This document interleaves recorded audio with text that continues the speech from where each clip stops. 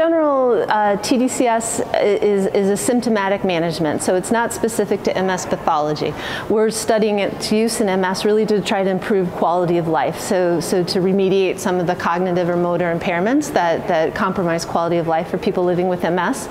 We uh, are doing mechanistic studies now with simultaneous neuroimaging in people with MS to, to try to understand exactly how it works. I think there's a, a large unknown about that, and especially if we can find signals to predict who would benefit the most. Um, so that work is all underway. But again, broadly, um, as a symptomatic treatment, the idea is functional targeting to target the stimulation uh, in the region that's engaged in the training activity to uh, reinforce the learning that occurs during that time.